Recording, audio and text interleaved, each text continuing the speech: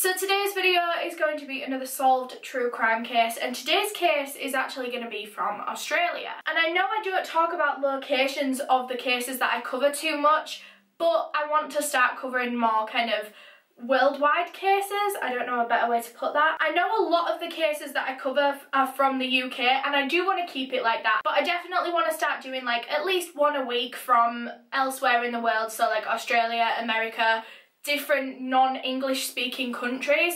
However, those ones are a little bit harder to do because articles aren't in English and I only speak English. Anyway, this intro has been long enough. Let me just do my disclaimer that I mean absolutely no disrespect to anyone that I talk about in this video. This is all just information that I have found on the internet and I'm compiling into one video. So today we're going to be talking about the solved case of Maria Korp. So Maria Korp, formerly Maria Matilde, was a 50-year-old Australian woman born January 14th, 1955 in Portugal. She was born in Portugal but her parents were Australian. She grew up in Australia later in her life. She was just born elsewhere, you know. Maria grew up in Melbourne in Australia and she was very religious. She was a very strict Christian. She was very proud of her faith. Maria actually married once before and her and her husband had a daughter named Laura However, after a few years, her husband sadly passed away, leaving Maria a widow. And then in May of 1990, she met who would soon become her second husband, Joseph Korp. At first, Maria just wasn't interested. She would rebuff all of his advances, and he was just very persistent. And eventually, after a few months, they were married. Joe actually had two children to a previous marriage himself, so between them they had three children. However, I don't think Joe's children lived with him. They were called Mia and Stephen. I believe that they lived with their mother. I believe in their kind of household it was just Maria, Joe and Maria's daughter Laura and they had a really happy like small family. Joe was obsessed with Maria. It was just a really happy family. Money was pretty tight for the Korp family, however this didn't stop Joseph from going out and buying an empty lot and the Korp family built their own kind of dream home on this lot. Joe worked constantly, Maria had two jobs which led to her working over 12 hours a day. Eventually the dream home was finished and it was everything that they wanted and it was then when Maria realised that she was pregnant with her and Joe's own child and they had a lovely little boy called Damien. They were a typical perfect family. Honestly, they never argued, barely argued anyway, even if they did argue a little bit. They had the gorgeous house, the gorgeous family. They now had their own child between them, like everything was perfect for that family until Maria started noticing little off things about Joe. He began working away a lot and due to his job he did work away sometimes but at this point, it was becoming more and more frequent. It was like at least once a month, sometimes twice a month. And this planted a little seed of doubt in Maria's head that maybe he wasn't faithful. And so she began digging, doing her own investigative work, and she went through Joe's old bank statements. And she found that while he was supposed to be out on a business trip in Sydney, he'd actually been withdrawing money in Victoria which are two completely different places. He tried to explain it away to Maria by saying, well, I went to two different places on this business trip. I wasn't constantly in Sydney, but even though she kind of forgave him and accepted it, she never truly forgot what had happened. But Maria wasn't completely convinced. She just kind of accepted his excuse because she didn't want to start arguments. He did have a valid excuse even if she didn't believe it 100%. And so while Joe was out on another one of his business trips, Maria decided to check his computer and when she did, it just confirmed all of her suspicions. Joe had a profile on a dating website, but this wasn't just any dating website, this was a dating website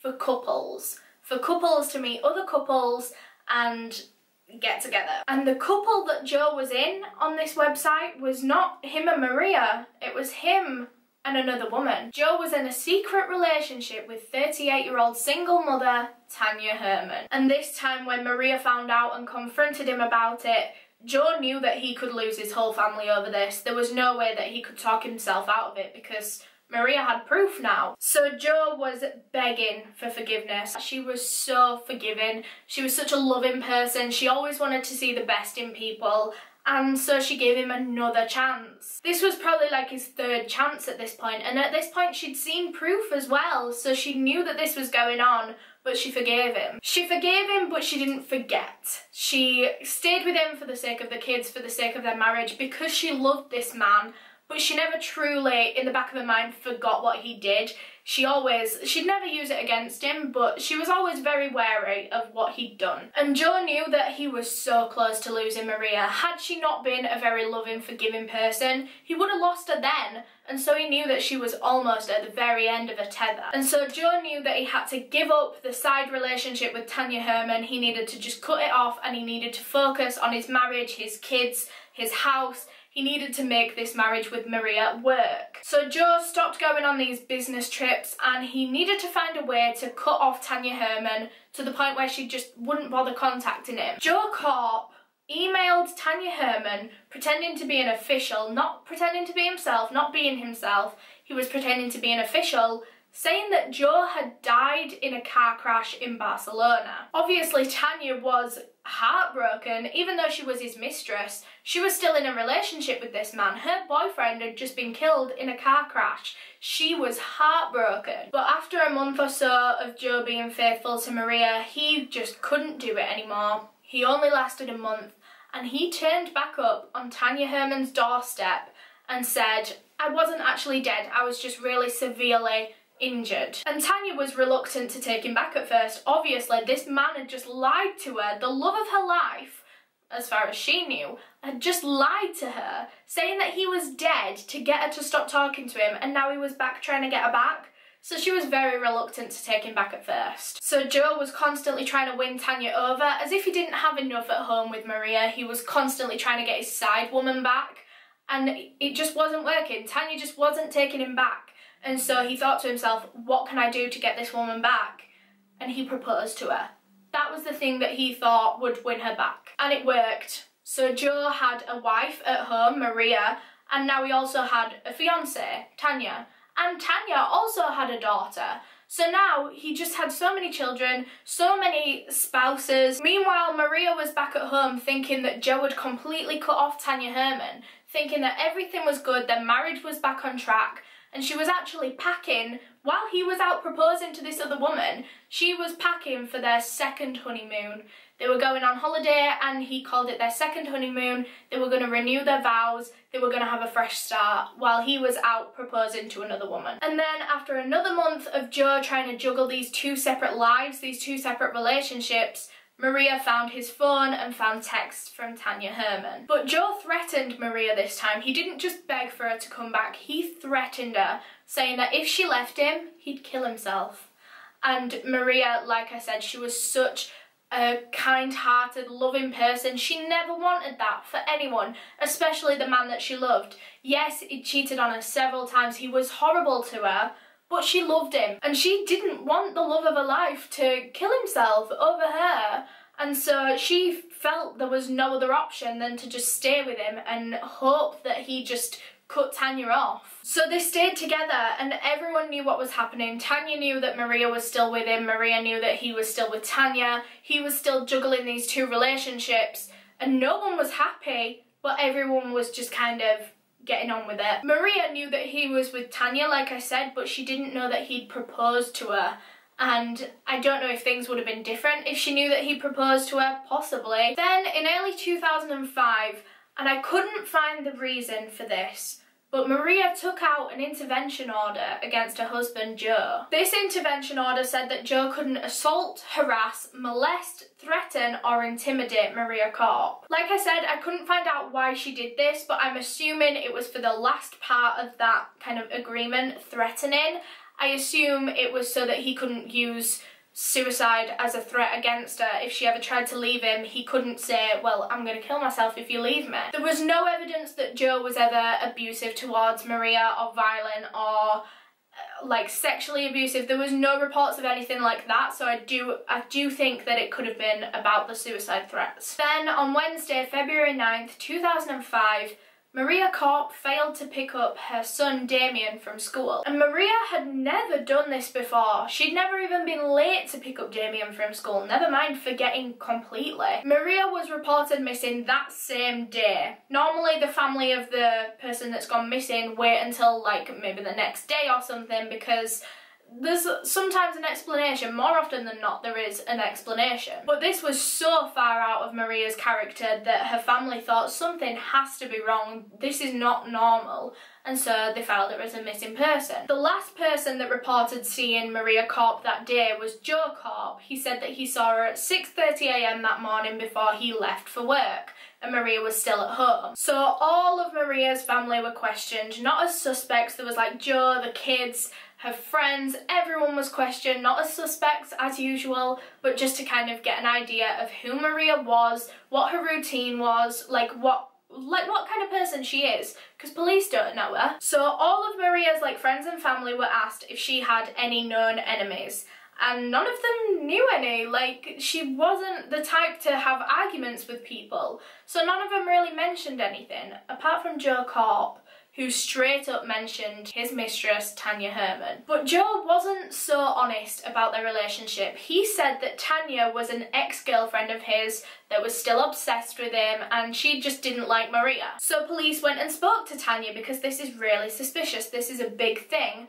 So they went and spoke to Tania Herman, and while Joe said that she was an ex, Tania Herman told the police the truth that they were engaged and they were going to be married. And this was, as you can imagine, an immediate red flag for police. Joe must be lying about their relationship. Tania has no reason to lie and say that they're engaged. Like, what is she going to get out of lying about that? Whereas Joe does have a reason to lie and say that, oh no, we're not engaged, she's just crazy because he doesn't want his family to turn against him. He doesn't want to look like the cheating husband when his wife's just gone missing. So, like I said, Joe tried to explain this away by saying that Tania was just a crazy ex. She was obsessed with him. She was delusional. She thought that they were still together. She would constantly like stalk him.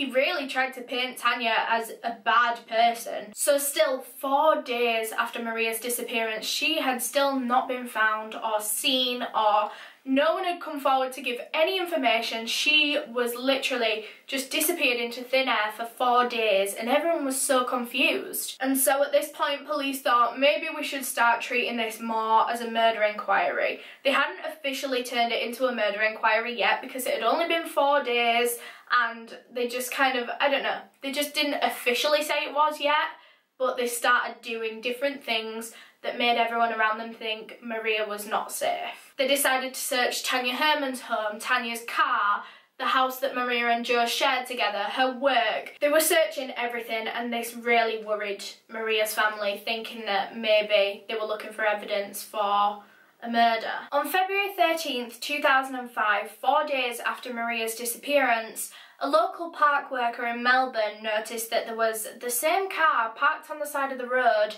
for four days straight and it hadn't moved, no one had been to it or anything. So he went over to the car to check it out to see if it had like been broken into or whatever and when he did, when he got closer to it, he noticed a really strong bad smell coming from the car. And fearing the worst or fearing the unknown, like what the hell this smell could have been, he called the police. Police arrived quickly, they noticed that the car hadn't been broken into, it was all completely fine, but they also noticed this really bad smell and so they tried to break into the car. They specifically broke into the boot of the car. So they broke into the boot of the car and there they found what they thought to have been a barely identifiable dead body. The body was in terrible physical condition. It smelled horrific. It had been in the boot of that car in the heat of the summer for four whole days. They thought that there was no way that this body was still alive. It looked dead, it smelt dead, it was in the boot of this car for four days in the blistering heat and so they were going to just call someone to come and take this body back to a morgue and that was when they saw the chest move. It looked like this person whose body was in the boot took a really strained breath and so police panicked and quickly called an ambulance to take it to the nearest hospital and see if they could resuscitate this person. So an ambulance came and transferred the body to the nearest hospital and it was then when this body was identified as that of Maria Korp. And incredibly, Maria was still alive. She was in very severely critical condition. She was so close to death. Had she been in that car boot just a couple more hours, she could have died. So I'm just going to read you off a list of all the kind of injuries that Maria had to her because they thought that she was dead when they found her. She was in such a bad physical way. She had nine blood clots and pressure sores. She had a battered face, a broken arm. She appeared to have been strangled at some point, so she had like marks all around her neck. She was severely dehydrated and suffered oxygen starvation to the brain, which meant she had severe brain damage and she wasn't responding when they got her to hospital. So immediately Maria was put into a medically induced coma to help the hospital staff kind of like treat her different things at once. So she was being hydrated, she was trying they were trying to reverse the brain damage like they were doing so many things on her at once that she needed to be in a coma so immediately this story was huge news in the media i mean a woman had just been found in the boot of her own car that was maria's own car and she'd been there for four days, almost dead. So quickly the press began digging around trying to find information about this woman in the boot, which is what the media called her, and quickly they found out about her broken home life. They found out that her husband had an extra woman on the side, a whole fiance as well as his wife. And obviously this was a huge part of the case. Everyone thought that they were guilty. Even though there was no specific evidence in the public yet, everyone just assumed that it had to be them. And so Tania and Joe pretty much became like celebrities in Melbourne. And obviously the police thought the same thing. The police thought that Joe and Tania were very suspicious, just from the family circumstances. They didn't have any specific evidence to say that either of them did anything, but they had a motive to want to get rid of Maria. And so police began digging around with them, questioning friends, families, taking phone records, and police finally gathered enough evidence to have reasonable grounds to bring them into the police station for questioning as suspects. So Tania was the first to be questioned out of her and Joe, and police quickly realised that Tania had a very dependent personality. She was very vulnerable. She was very dependent on Joe. Tania Leanne Herman had been through two previous marriages, the first of which ended in her husband having an affair, and the second of which ended in her husband actually passing away, leaving Tania a widow. Tania herself actually previously had a form of cancer which was successfully treated, but the whole time she was going through treatment, and even then in the present day, she never told her family. No one in her family knew that Tania ever had cancer. She had two children, she had parents, she had tons of friends, she had work colleagues.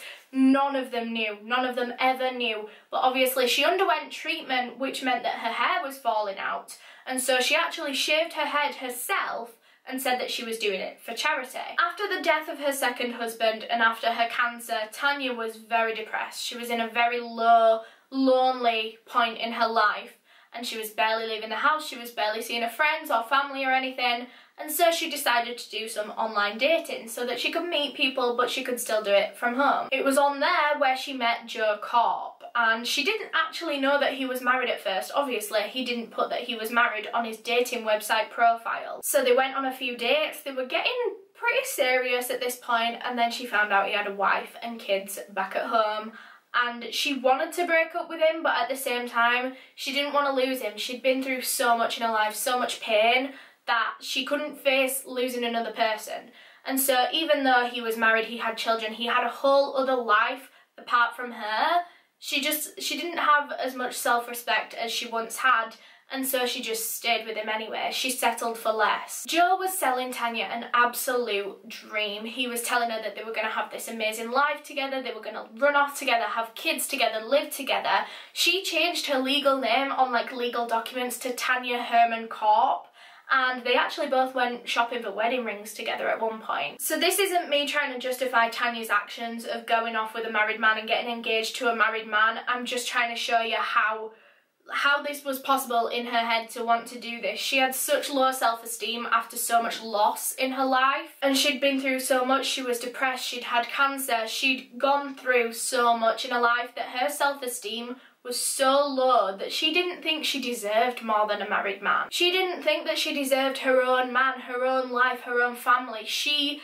felt like this is what she deserved and she was just going to take it because she liked this one and she didn't want to lose another person in her life. And she needed that kind of emotional gratification. She'd been alone for so long that finally when someone came along and started calling her beautiful, saying that they loved her, she needed that. She was a very dependent person, a very vulnerable person, and she couldn't face losing Joe at this point. And Tania herself realised that she was being manipulated in a way. She knew that Joe knew that she was very vulnerable, very weak, very dependent, and Joe would pry on that. And Tania knew this and she was okay with this because, like I said, her self-esteem was so low that she put up with so much from him. This is a quote that Tania Herman told police. I think I was sort of brainwashed by him because I was so in love with him and he used to promise me the world. Joe used to tell Tania that she only looked good in black. She didn't look good in any other colours and so Tania started wearing almost exclusively black clothing. Joe told her that he didn't like her friends and so she cut off contact with every single one of her friends. She barely had any friends at this point because of Joe. He was ruining her life. He made Tania sell her house in Victoria and move to Melbourne to be near them and she actually lived in the same neighbourhood as Joe and his wife Maria and his children with her kid. And obviously Tania enrolled her daughter at a new school in this new town and when she did, she actually put Joe Korp down as one of her child's emergency contacts. And Tania's daughter had been around Joe for so long at this point, she was so close to him that she started calling him dad. Tania then went on to tell police that Joe had been saying weird things to her for weeks before now. He was saying things like, if only Maria was gone, and if you had to kill someone, how would you do it? Quickly, these kind of seemingly passing comments that Joe used to just like drop in every now and again they were coming like real discussions, like real topics of conversation.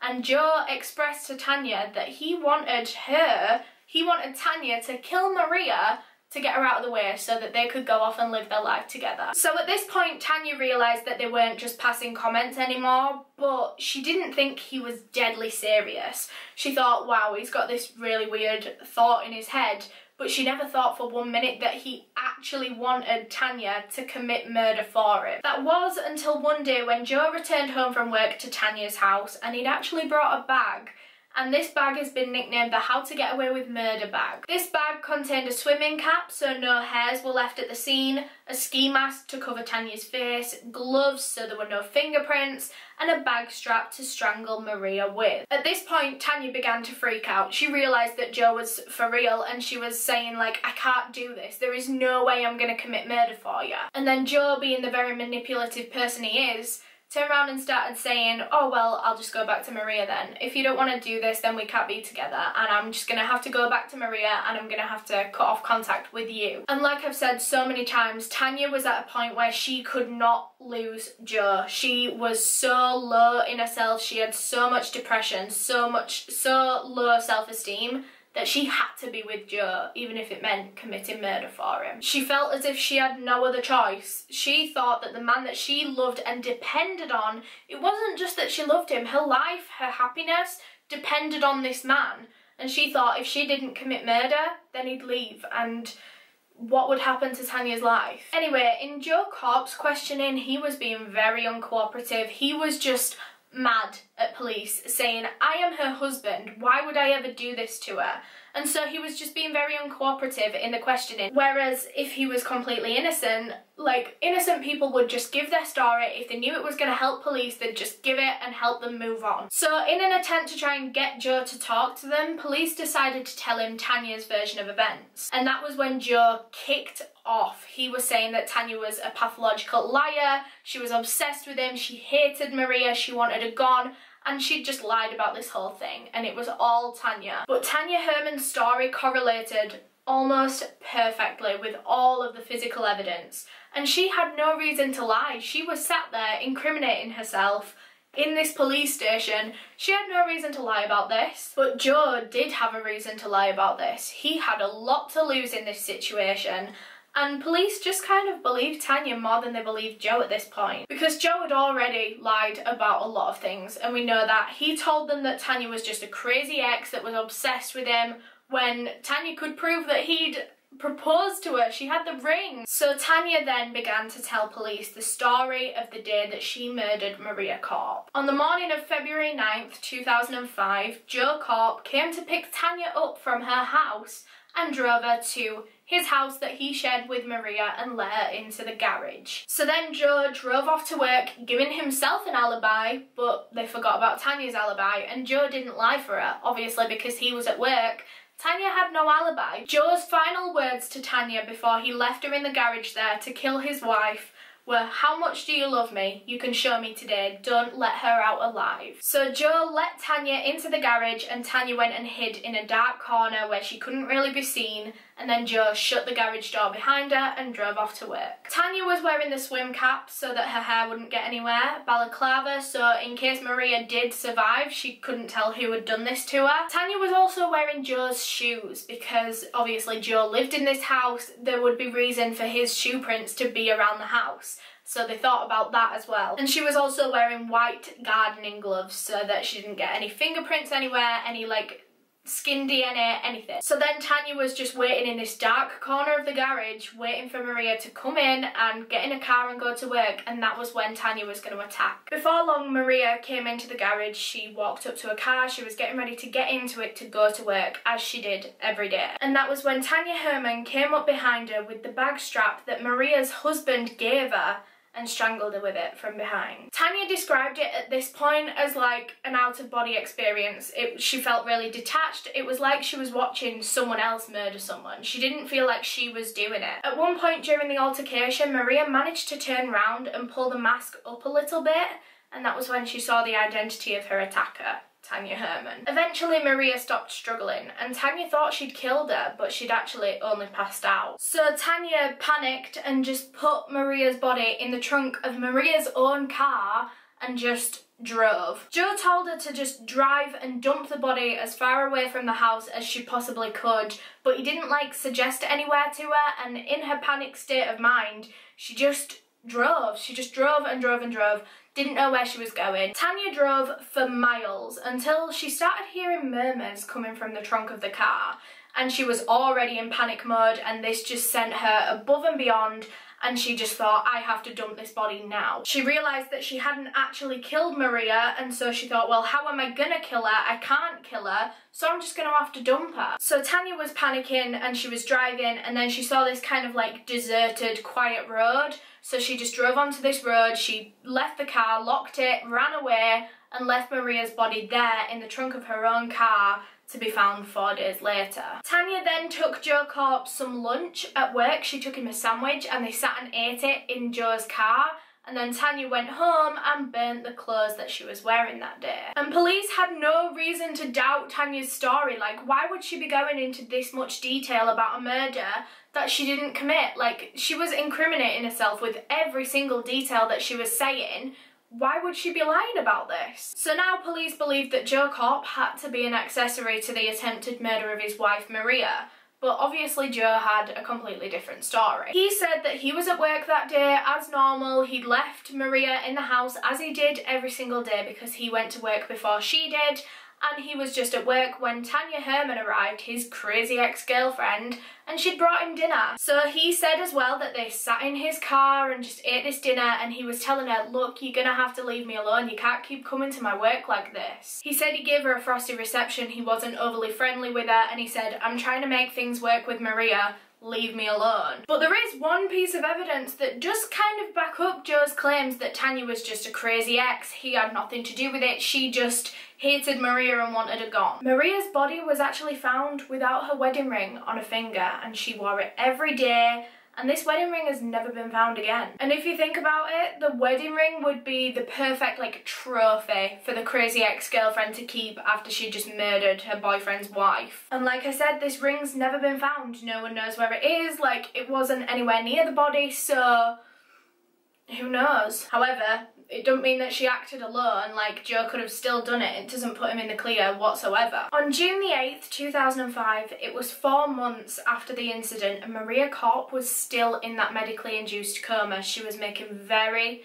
very slow progress, but it was happening. And at this point, police had enough evidence from questionings, from physical evidence to Tania's own confession that Tania and Joe definitely had a part in Maria's attempted murder, and so they were put on trial for it. Tania Leanne Herman pled guilty to all of her charges and she was sentenced to 12 years with the possibility of parole after 9 years. Joe Korp was trialed for conspiracy to murder that same day as Tania Herman, but he pled not guilty, and so a further trial had to be scheduled where they'd get in a jury. Meanwhile, Maria Korp was still in this medically induced coma, and up until now, she'd been making very, very slow progress. Doctors had been doing everything they could, and she was making slight improvements but at this point she just started to deteriorate. So on July 26, 2005, the decision was made to stop treating Maria. So she was still in this medically induced coma, but obviously she isn't conscious to be able to feed herself, to be able to give herself water, and so they cut off her kind of food supply, her water supply that was being fed into her from tubes. And this sparked a lot of controversy, which I'm not actually going to get into in this video because I feel like it's very just like not related to the case itself.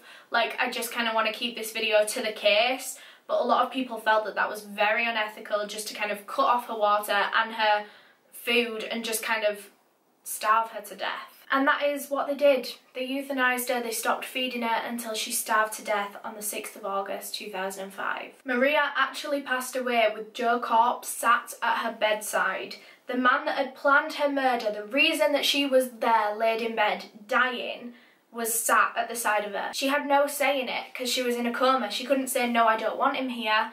He was just there while she died. Joe had managed to get a supervised visit because at the end of the day, it was still his wife. He still loved her, claimed to love her, and so they let him spend her last moments with her. So now that Maria Korp had passed away, this was officially a murder case, no longer an attempted murder case. And because Tania Herman was already sentenced at this point, she couldn't actually be re-sentenced. So she was sentenced for an attempted murder, but they couldn't bring her back and then add on time to a sentence for an actual murder case now. I don't quite know why. It's something to do with you can't be sentenced for the same crime twice, and obviously she was sentenced once and then the situation changed and she can't be sentenced again. I talked about it in my Hannah Hill video, I'll link that up there. I can't remember what it's called, I'm sorry. However, because Joe Korp pled not guilty at his trial, he could now be tried for murder because he hadn't been sentenced yet. Had he pled guilty in the first place, he would have got a much shorter sentence than what he was looking at now. So Maria Korp's funeral was held on August the 12th, 2005, and Joe Korp was actually banned from going to the funeral by Maria's friends and family. And so Joe decided to hold his own funeral at the house that he shared with Maria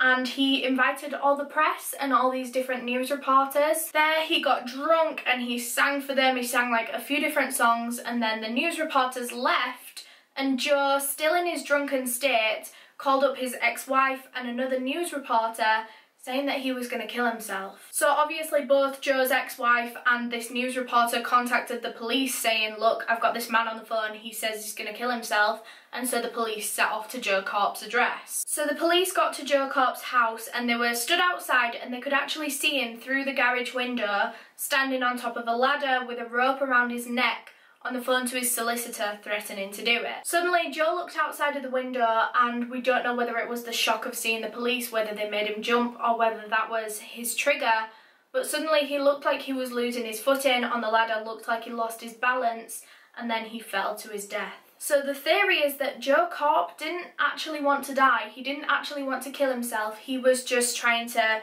use that to get sympathy to try and make his trial shorter. Joe would have probably got a much lesser sentence had the jury seen how sad he was over his wife's murder. The jury might have thought, well, he can't possibly have had a part in this. If he's that sad over her death, why would he want to cause it in the first place? And he thought, well, it's the theory that maybe he thought that if he acted suicidal, they'd go easier on his sentence. Something that might back up this theory that maybe Joe didn't actually want to die and maybe he just fell by accident was that the police saw him fall from this ladder and they reported that it wasn't like a quick kick over of the ladder, it wasn't like a jump off. He looked like he lost his balance, lost his footing, and then fell and started like flailing as if he'd accidentally fallen off this ladder. And another thing is that this rope was really long. He was actually only hanging three centimetres from the floor.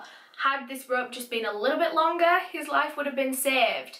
And I don't want to sit here and say that this man wasn't suicidal because we don't know. But often if someone is to commit suicide in such a way, they would check the length of the rope. They would make sure that they wouldn't be able to stand up, you know? Because if someone is to try and hang themselves, they do want to die. They don't want to hit the ground and survive, you know what I mean? So they would probably test out the length of this rope and make sure that they were quite a way off the ground. I don't know, but like I said, I don't want to sit here and say Joe wasn't suicidal because we don't know. So I'll let you guys decide what you think. Surrounding Joe when he died were pictures of Maria all over the floor and a bunch of notes that were just kind of describing how he was innocent, how much he loved Maria. After Joe Korp's death, police came out and publicly said that they think that Joseph Korp did have a part in the murder of Maria Korp. In January of 2013, eight years into her sentence, Tania Herman actually applied for permission to marry a fellow inmate